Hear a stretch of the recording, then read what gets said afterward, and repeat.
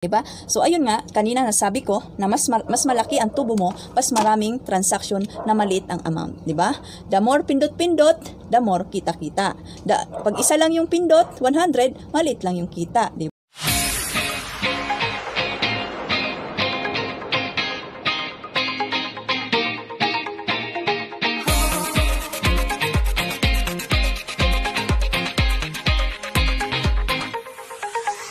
Guys, hello everyone! Welcome back again to my channel, Rosejam 11. So to- for today's video, ang share ko naman sa inyo, so is... Ano? Guys! Hello everyone! Welcome back again to my channel, Rosejam 11. So for today's video, ang share ko naman sa inyo is all about load to all network. Dahil ito ay request din ng aking viewer. Ang dami, nag, ang dami kong viewer na nagre-request nito about sa load, kung magkano daw tubo, malaki daw ba ang tubo. I-discuss ko daw yung about loading business. So ayan, dito tayo sa hashtag vlog for the viewers, not for the views. So ayan, kung interesado ka dito sa aking topic for today, just keep on watching. Guys, hello sa inyong lahat. Good afternoon, maopay na kulop, viewers all over the world. So, ayan na naman tayo, no? Magbibigay tayo ngayon ng mga tips, advice, kung magkano ba ang tubuan pagdating sa load. Ayan. So, ayan. So, dito sa aking tindahan, sa Rose Jam Store, marami ako ditong cellphone pang load. Ayan. Meron akong tatlong pang load, taka ito pa. So, dito, smart at saka uh, Smart at saka Globe. Dito naman mayroon pa akong Smart. Dito naman Globe at saka Sun. Nandito pa rin yung aking lumang ano ng Sun. So dito naman yung isa kong retailer SIM ng Sun. Ay ng Sun ng Globe. So mayroon pa akong isa dito. Ito pa oh. Dito naman yung aking aling puring SIM. So, pag nakakatanggap ako ng load, preload sa Pure Gold, dito naman yun napupunta. So, ngayon nga, dahil request ng aking mga viewers, nababasa ko sa comment, ayan, si Koy Koy, na asawa ni Kai Kai, ayan, request niya to. Tapos may nabasa ulit ako kanina lang, si Ra- Rachel Reyes, ayan, about load din ang kanyang concern. So ngayon, Malaki nga ba ang tubo sa load? So, ayan ang i-discuss natin. So, dito sa aking tindahan, mayroon po akong traditional load. Yung iba't ibang SIM bawat cellphone. May Smart, may Globe, may Sun. Yung Sun, dati pero mamaya i-discuss ko yan. May Globe, Sun, Smart. So, ayan. Load to all network tayo. So, mayroon din ako man akong backup sa aking Gcash, sa aking Paymaya, nang pwede rin ako makapag-load. So, ayun guys. So, ayan. May namimili na naman. So, inagahan ko na nga time check. 3pm pa lang. So, ayan. Sumasabay ang aking mga tumera. So, ayan. Mahirap din mag-vlog ng may mga bumibili. So, ayan. May parating. So, ayun, patuloy tayo. So, meron ako dito ang whiteboard. Hiniram ko pa kay super anak. Nagalit pa sa akin. Dahil kanya daw to. Akin yan, mama. Sabi ko, pahiram lang. ba? Lesson learned. Kahit si super nanay, kailangan magpaalam kay super anak. So, ayan. So, anyhow, so ito na nga. So, meron akong whiteboard marker. So, ito. Kaya kakailanganin natin to para makita natin dito yung tubuan sa load kung magkano ba. So, ayan.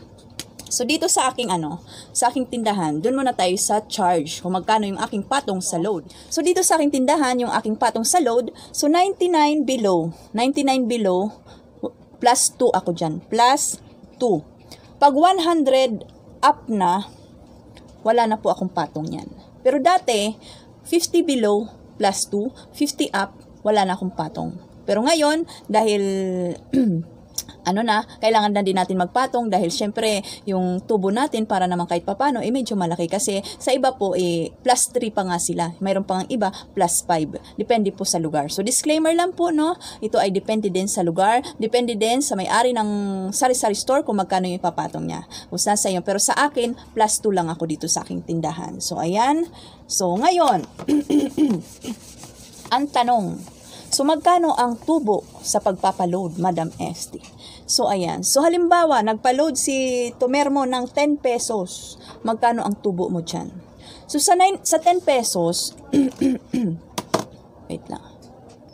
So, ayan guys. So, sa, sa 10 pesos na ipapaload sa iyo ni Tomermo, ang bawas yan sa iyong load wallet ay 9.55. 55, no? So, ima-minus natin yan, mayroon pang 0.45 natubo ka na doon. So magpa plus 2 ka pa. Kung ako plus 2, so sa 10 pesos, mayroon kang tubo na 2.45. Diba po? Nakikita po ba? So sa 10 pesos, may tubo na 2.45 sa load. So wait lang. So ayan guys, so dito naman tayo sa 20. Sa 20 na ipapaload ni Tomer, may iwan sa load wallet mo, ito lang ang kakaltasin niya ay 19.10. Tapos, may 90 ka na doon na tubo mo, so mag, may plus 2 ka pa, o kung ilan yung ipa-plus mo, ito yung tubo mo. 2.90 sa 20 na ipapaload ni Tomer. ba? The more na magpapaload, mas marami, mas malaki yung tubo. Huwag ka lang magkakamali. So yan, so mamaya may mga paalala si ST dyan, no? So ngayon naman, so before guys, nag-start pa pala, nag-start pala ako nag-load dito sa aking bahay. Wala pa akong tindahan, sa loob pa lang ng bahay. 2011, naglo-load na po ako. Smart pa lang yun yung gamit kong load. So ngayon, so punta naman tayo sa 50.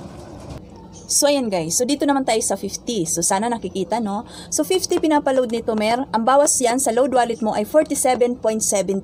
Mayroon ka ng kita doon pa lang na 2.30. Hindi ka pa nagpatong. So, pag nagpatong ka pa, plus 2. Ayan yung patong mo. Charge mo.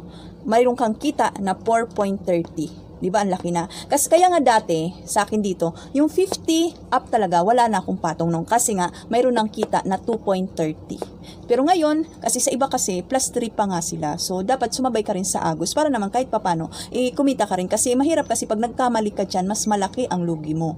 So, ngayon, so ito na nga.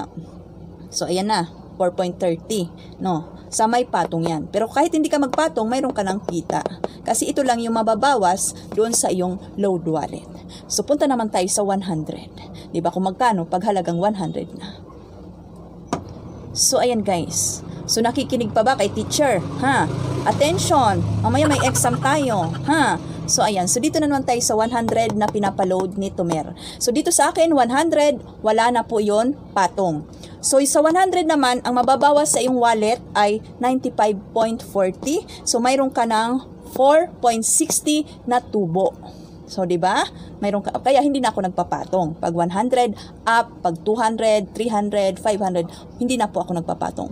Pero sa ibang sari-sari store, nagpapatong pa sila dito, mas malaki pa. 'Di ba? Comment down below kung sino nakaka-relate. Sa kasi sa iba, the more na mas malaki yung pinapaload ni Tumer, mas malaki pa yung pinapatong nila. Bakit? Dahil po sa 100 ay mas maliit lang yung tubo mo kaysa doon sa pa 10 10 10. So bibigyan ko kayo ng example. Wait lang. So, ayun guys. Natatawa ako dito sa aking ano. Kala mo teacher, no? Feeling teacher. So, mayroon akong dalawang comparison dito. Dito sa load na 10 na mayroon charge. Dito sa 100 na walang charge. So, ayan. So, sa 10 nga, mayroon tayong tubo dyan. Patong ka plus 2, 2.45. Dito sa 100, mayroon tayong tubo na 4.60 wala na po yung charge. So dito sa 10 na ito, bakit daw nagpapatong pa yung iba dito? Dahil mas malaki, maliit lang po yung kita doon kung babasyan mo. Kasi dito, kung pa 10-10 na nagpapaload si Tumer at 10 tao din yung nagpapaload sa'yo, so ito times 10. Sa tubo mo na 2.45, mayroon kang 2450 na halagang 100 total na pinaload na 10 katao na nagpaload sa'yo ng 10 pesos. Samantala sa 100, mayroon ka lang 4.60. 'Di ba? Nakikita nyo ba yung pagkaiba? Pero dito naman sa 100 na to na nagpa-load, one time transaction lang.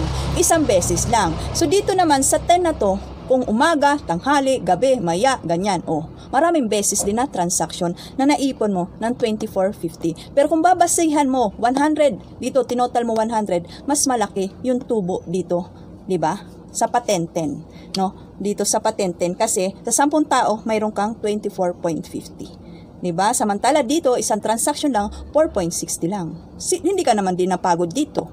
Dito, maraming beses nang pabalik-balik si Tumer bago ka muna nakaipon ng 24.50. Kaya yung iba, ha, mas malaking load, mas malaki yung patong nila kasi nga maliit lang yung kita. So, 'di ba? Sa much better pa rin dito. Kasi mas maraming transaction na 10, 20, mas malaki yung total na makikita mo. 'Di ba? So ayan. So wait lang, mayroon pa akong sasabihin. So ayan guys, so nakita nyo yung tubuan sa load. So the more na, na marami nagpapaload na mas mababa yung amount, mas malaki po yung kita mo. So, ayun. So, ayan, di ba? So, ngayon, mayroon pa nagtatanong, malaki ba talaga ang tubo sa load, madam? Malaki talaga. Kung mas mara- maraming kang transaction sa load, maraming nagpapaload sa'yo. Kaya dito sa aking tindahan, number one talaga ang nagpapaload. Kaya nga tayo, di ba, medyo mas malaki din yung ating benta, medyo malaki din yung ating kita dahil din sa load. Pero wag ka lang magkakamali ng isang beses, lalong na kung malaking halaga. Kasi kung tayo sa 10 pesos, ang kita mo 2.40 ba yon 2.40, 'di ba? Magkamali ka ng number ng halagang 10 pesos. O 'di ba? Ang tubo mo lang 2.40, nagkamali ka sa pagpindot, 10 lagas sa 'di ba? O kung mas malaki, nagkamali ka sa 50, sa 100, o malaki yung lugi mo. Kasi ang tubo lang maliit. Kaya dapat ingat ka sa pagpindot, 'di ba? 'Di ba? So ayun nga, kanina nasabi ko na mas ma- mas malaki ang tubo mo, mas maraming transaction na maliit ang amount, 'di ba? The more pindot-pindot, the more kita-kita. Pag isa lang yung pindot, 100, maliit lang yung kita, 'di ba? So yun ang pagkaiba. So ngayon, ang gagawin mo na lang, paalala ni Madam ST, para hindi ka magkamali sa iyong paglo-load. Kung halimbawa si Tumer nagmamadali, ipasulat mo na lang sa papel. Kasi dito sa akin din may mga, sa, syempre mag-isa lang ako no, ang dami kong ginagawa. May nagmamadaling customer, so pinapasulat ko lang. Minsan naman, dalawa sabay, Globe tsaka Smart. So ayan. Pero see to it mo, anuhin mo, check mo maigi, double check mo kung tama ba. O much better, para sa akin, dito sa amin ha, sa loob ng subdivision, pinapatype ko na lang. Kasi pag, pag ako nag-type at ako nagkamali, kasalanan ko yun. Kung sila nag-type at sila nagkamali, di kasalanan na yun, di ba? So ayan, so mayroon din, ano, may may may pagkakataon din na yung sinulat hindi mo maintindihan kung 6 or 9, di ba? So ayun, ina-load mo na, ibumalik si Tomer, pinaglalaban niya na 9 yon. So sa tingin mo naman 6 yon. nangyari na sa akin yun. O, di ba? Ang ginawa na lang, naghati na lang kami para matapos na ang issue. So, ayan. So, kung tanong nyo kung ako ay nagkakamali din sa pagpindot, opo, nagkakamali din ako. Ngayon, ngayon na, no marami na akong pinagkakabisihan, ang dami ko nang iniintindi. Kasi ang isip ko, ang dami na iniintindi. Ayun pala, yung isa pala yung nagpapalod, yun ang napunta dun sa isa buti na lang mababang amount. Kasi pag mas malaking amount, mahirap na yun habulin. Kung mababang amount, pwede mo pa i-resend ulit. 'Di ba? Nakukuha yung point. Pero dito sa akin, halimbawa nagkamali ako na sobra, sasabihin naman bayaran na lang daw nila ako, 'di ba? Okay naman 'yon. Pero ang mahirap lang kasi kung yung na walk in lang yung customer mo na hindi na babalik. Pero kung taga suki mo naman eh mahabol mo pa 'yon. So ingat-ingat na lang tayo mga kasari sa pagpindot ng load o kaya kung sa inyong lugar ano ka naman hindi masyado kang ginagawa, ipasulat mo, 'di ba? Ang problema lang din sa akin, may share lang ako no. Yung pinapasulat ko, Ayan, sabi ko, sige, nagmamadali siya. So, isulat niya. So, ngayon, si ST na BC, dumating ang delivery, dumating ang maniningil, si Manny, maniningil, ay, yung anak, papasok na, ang yun, nangyari, nakalimutan i-load. Maya-maya, pagbalik, ate, ha, hindi ko pa pala na-load. Minsan yung iba alam na nila yon Kasi alam nila, ang dami kong pinagkakabi. Sabi niya, busy ka kasi kanina, no? Hindi mo na i-load. minsan naman, ano, minsan kunyari, sabi ko, ah, wala pa ba? Sabi ko, nakakaloka. Sige, sige, isi-send ko na lang. So, ganon. So, ano po, sa load, malaki ang kita mo pag marami kang transaction, lalo na pag maliit yung amount. So, ingat lang din na magkamali kayo sa number kasi mas malaki po. Pag nagkamali kayo, mas malaki yung bawas. Di ba po? Kaya nga yung ibang sari-sari store owner, lalong-lalo na kung matanda na sila, malabo yung mata nila, hindi na sila naglalagay ng load. Kasi magkano lang daw ang tubo, dos, pag nagkamali ka pa sa halagang 10 o 20, mas malaki ang iyong lugi. So, ayun guys, no? So, sana eh, nakapag-share ako, may natutunan tayo dito sa about load to all network dito sa aking tindahan. So kung may tanong pa kayo, i-comment nyo na lang dyan at ipa-follow up vlog na lang natin, no? So, ayun na lang muna. Hanggang dito na lang muna. Sana ay okay lang kayo sa alright. Maraming benta ngayong araw na to. Happy, happy selling, mga kasari. Shout out sa inyong lahat. Team Kasari, Team Waray, mga sari-sari store owner of the Philippines, mga super tindera, super tindero, mga viewers, followers ni SD. Hello, hello, hello. Sana ay okay lang kayo sa alright. Muli, ito super tindera ng bayan, Rose Jam 11 na nagsasabing, no hate. Love, love, love, love lang. Thank you for watching. Bye-bye.